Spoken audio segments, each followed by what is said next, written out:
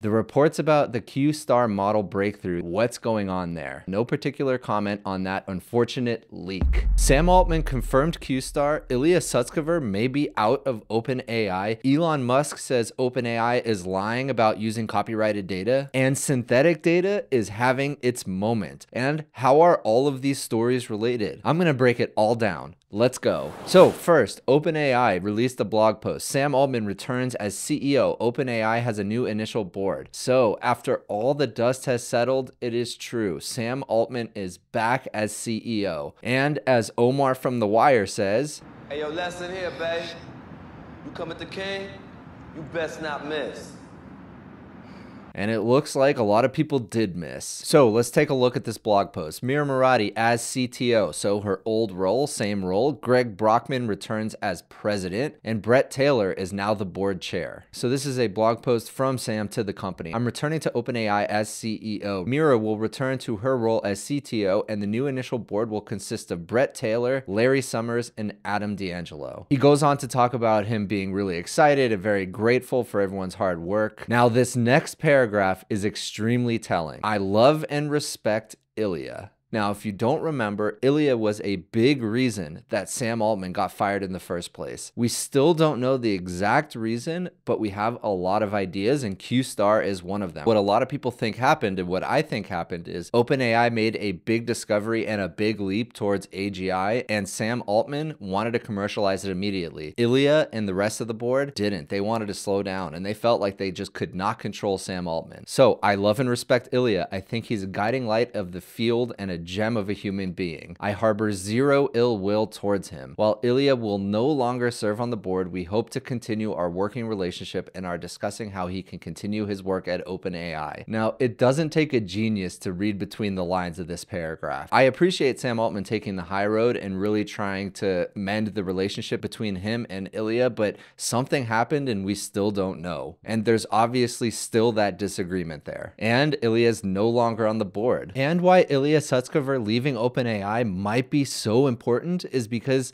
Elon Musk and Ilya actually have an existing relationship that goes back a while. Elon Musk has had nothing but great things to say about Ilya, including that he has an extremely strong moral compass. So Elon Musk is trying to figure out what's going on at OpenAI that led Ilya to try a coup and try to get Sam Altman out. And I bet Elon Musk is aggressively trying to hire Ilya right now for X.AI. And this would be the perfect time to do so. And then he goes on to say, I'm grateful to Adam, Tasha, and Helen. I'm excited to continue to work with Adam and am sincerely thankful to Helen and Tasha for investing a huge amount of effort in this process. And again, it's very interesting that Adam got to stay because he is building a competing product with Poe. And he thanks Emmett, who came in as CEO for all of about seven and a half minutes. And then I think this next paragraph is really interesting. Greg and I are partners in running this company. He could not make that more clear. Sam sees them as equals. And the the thing is,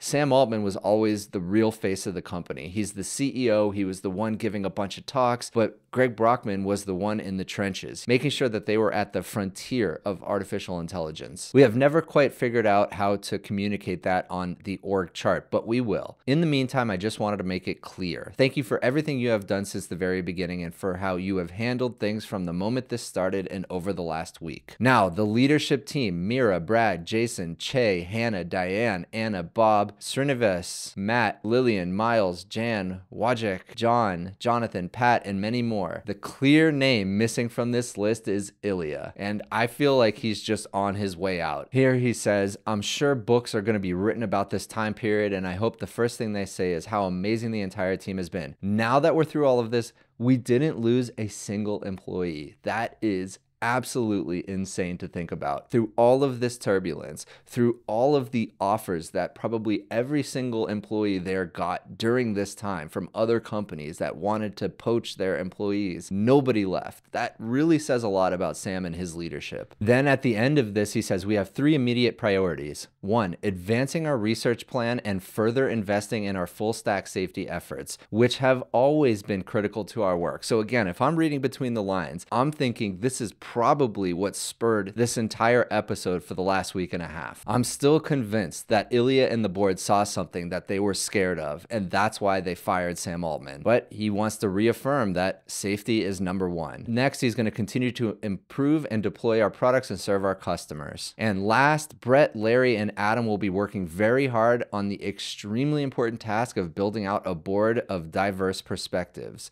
And that's important. The governance and the board are going to change. So, for years now, OpenAI has been a nonprofit that owns this capped profit company. And a lot of people who looked at this structure thought it was absurd. And it turns out it didn't really work that well. So, they're probably going to be changing the board and the governance soon. So, now let's move on to The Verge's article, which is an interview with Sam Altman about being fired. But in this article, he talks a lot about other things, including essentially admitting Q Star was leaked. So, after being fired, when the board called him back to rehire him like a day later, he basically said, It took me a few minutes to snap out of it and get over the ego and emotions to then be like, Yeah, of course I want to do that. And then he said, Obviously, I really loved the company and had poured my life force into this for the last four and a half years full time, but really longer than that with most of my time. And we're making such great progress on the mission that I care about so much the mission of safe and beneficial AGI. And during the interview, Altman repeatedly declined to answer the main question on everyone's minds exactly why he was fired to begin with. OpenAI's new board, led by Bret Taylor, is going to conduct an independent investigation into what went down. I very much welcome that, Altman told me. So,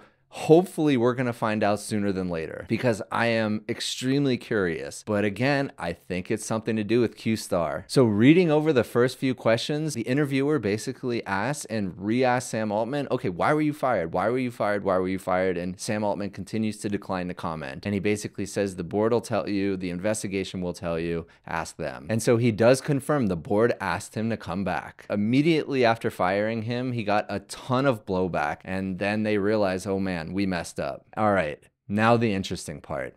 The reports about the Q star model breakthrough that you all recently made. What's going on there? And this is Sam Altman. No particular comment on that unfortunate leak. So he basically says, I'm not commenting, but yeah, it was a leak. But what we have been saying two weeks ago, what we are saying today, what we've been saying a year ago, what we were saying earlier on is that we expect progress in this technology to continue to be rapid and also that we expect to continue to work very hard to figure out how to make it safe and beneficial. This is the most PR answer I've ever heard, but he does confirm that it leaked. Without commenting on any specific thing or project or whatever, we believe that progress is real research. You will always hit a wall, but we expect that progress will continue to be significant. So there it is. He's basically saying, yeah, Q star leaked, but I'm not going to say anything about it. Okay, next, and this may seem like a tangent, but it's going to be related, and I'll bring it back around. You'll see. Elon Musk did a crazy interview with Andrew Ross Sorkin. And besides saying go F yourself to X advertisers, which is a whole nother topic I'm not going to get into, he did basically say that OpenAI is lying, that they're not training their models on copyrighted data.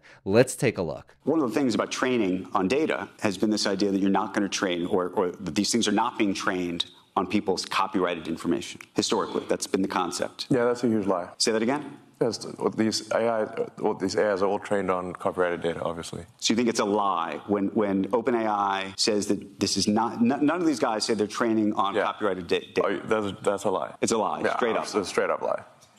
Okay. 100 percent. So then, obviously, it's been trained on copyrighted data.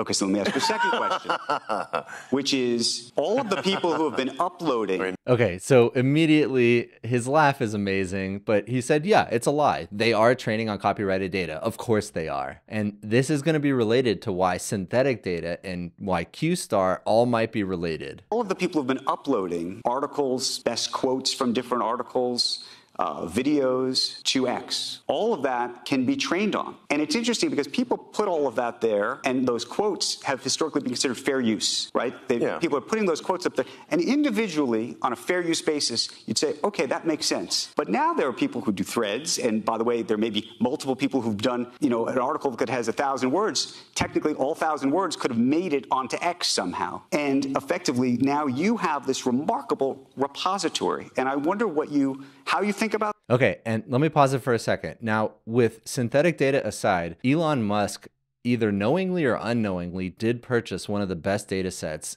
in history with X. He's getting so much data, so much unique data, and one of his first strategic moves after acquiring X was to shut down the API because he knew, he realized how valuable that data set was, and he didn't want third-party developers using it. And I already made a video about this, how basically this is changing the face of the internet as we know it. What was previously a very open internet where third party developers could build incredible applications and value on top of data sets like this and Facebook and Google, now they're starting to get shut down. And how you think the creative community and those who were the original IP owners should think about that. I don't know, except to say that by the time these lawsuits are decided, we'll have digital God. So ask, ask digital God at that point. These lawsuits won't be decided before on a time frame that is relevant. But is that a good thing or a bad thing? I think we, we live, you know, there's that, I don't know if it's actually a real Chinese saying or not, but may you live in interesting times. Right. It's apparently not a good thing. I, I, would prefer to, personally, I would prefer to live in interesting times. Um, and, and we live in the most interesting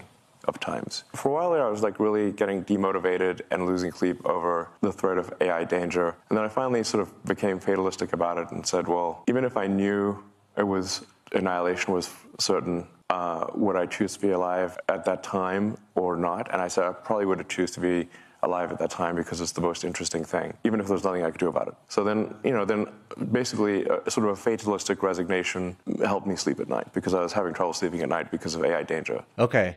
Let's pause it right there. So basically, what he's saying is it doesn't really matter whether companies like OpenAI are training on copyrighted data or not. By the time these things go through the court systems, it's going to be too late. And right here, he says that AI will be smarter than the smartest human in less than three years. So, of course, it doesn't really matter. OpenAI got this huge leap forward by training on copyrighted data. Now they're really going to push the boundaries of that using synthetic data. And so, by the time they get sued and it goes through the court systems, it's going to be too late. AGI is going to be here and it doesn't really matter anymore. Now, what to do about it?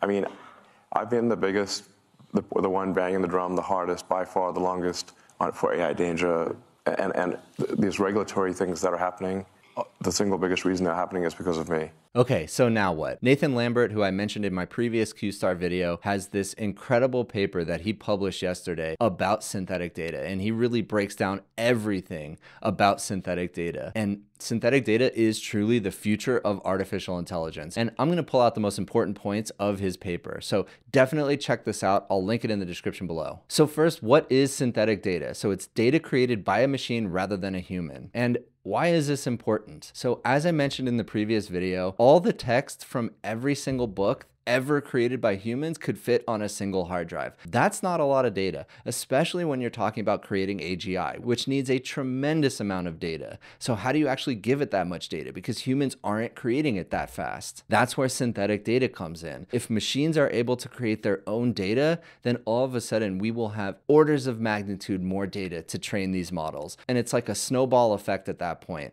We're gonna have incredible amounts of synthetic data, which will make the models that much better to reach AGI AGI more quickly, and then we'll be able to create even more better data. And I believe that's a part of what QStar is. They figured out a way to create really good, high quality synthetic data and then use that data to self improve using the AlphaGo techniques. And I'll link to my previous video about QStar in the description below. And here's an important line right here. Today, synthetic data has taken on a much grander task, removing humans from the loop of making AI both aligned and enjoyable to use. Now, that's important because right now, the bottleneck in creating AGI or even just creating better AI is the human in the loop because we have to either create the data or we have to give feedback to the models, both of which, if we're able to automate that, unlocks AGI's potential. And here he mentions OpenAI's new mysterious super alignment team tasked with using AI feedback to solve alignment. And in parentheses, because humans won't be powerful enough. And yeah, I mean, this is all science fiction to me. This is so cool to think about. It's also very scary because when you basically take your hands off the wheel, you're trusting that the AI is going to do the right thing. And that's what alignment is all about. And I'm not sure that I fully believe that it's ready for that, but technology is going to progress whether I believe it or not. As the current or next generation of models akin to Gemini and GPT 5 will have likely trained on all of the high quality data of the internet, with the last sources coming from things like YouTube and podcasts, model providers are looking to new directions to get the last few orders of magnitude of data needed for scaling laws to hold. A core assumption behind proponents of synthetic data at scale is that simply adding more data will make the model better at solving long tail task evaluations. Now, the argument against synthetic data follows that all the data we are generating is from the same distribution as the current best models, so some do not expect the SOTA to be advanced by it state of the art. So basically, if we're using the same data for these cutting edge models, and then the cutting edge models are creating new data, the data that they're creating is only going to be as good as a derivative of the existing data. And I tend to believe that, but I don't really think that GPT-4 is coming up with new and novel ideas because everything it does is just a derivative or a prediction based on its existing data. And that's why Q-Star is so interesting. Now, if I were to argue against myself for a second, I would look at the AlphaGo example, where the AlphaGo team took data from all the human players, all the human games of AlphaGo and train the model.